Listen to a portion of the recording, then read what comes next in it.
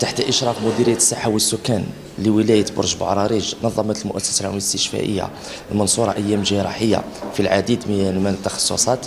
نذكر منها جراحة النساء والتوليد الجراحة العامة جراحة الأذن والحنجرة وجراحة الأعصاب. يعني خلال هذه العملية سيتشهد المؤسسة العديد من العمليات الجراحية حيث سطر الهدف من طرف المؤسسة ب عملية جراحية. عملية جراحية مكثفة للتخفيف من وطأة انتظار المرضى والتي تعتبر يعني كثيرة نظرا لعدد المرضى الكثير وذلك لتخفيف انتظارهم والإسراع في مواعيد العمليات.